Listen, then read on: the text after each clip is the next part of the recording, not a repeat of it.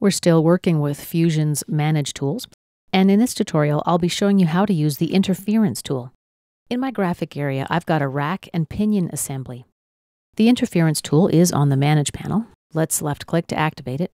The first step is to select the components that we'd like to analyze. We can also include coincident faces if we want. Just check here to activate that option. And when you're done your selections, click Compute.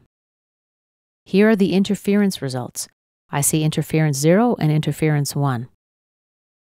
The volume of the interference is actually 0, so basically here we have coincident faces. There is no interference. If I try to keep these interferences as separate components, I can't because they don't have any volume. Let's cancel out of this window and let's create some interferences and then we'll run this analysis again. First, let me hide the pinion. Just zoom in a bit.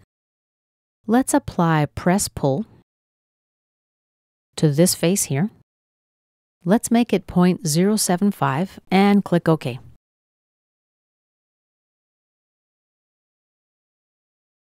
And we're done. Now let's bring the pinion back in and run the interference tool again. I select the entities I'd like to analyze, the pinion and the base. This time I'll uncheck Include Coincident Faces and click Compute.